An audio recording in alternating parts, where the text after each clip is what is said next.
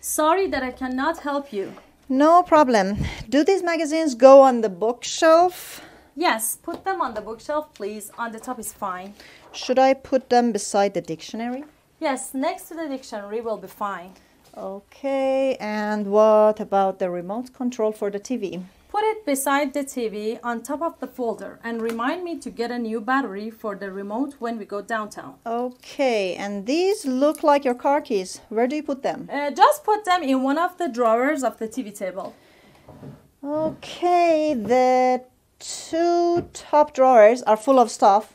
I'll put them in the bottom drawer inside an empty box for you. Okay, and thanks for helping me. Don't mention it.